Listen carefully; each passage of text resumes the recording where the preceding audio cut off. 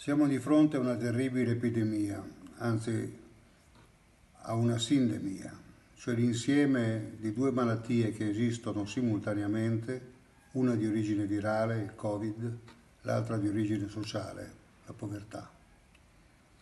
Bisogna agire, agire subito. Contro il Covid bisogna garantire a tutti la possibilità di accesso ai vaccini gratuitamente.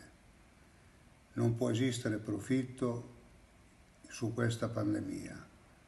Tutti i cittadini devono poter avere accesso alle cure in modo limpido, trasparente e uguale.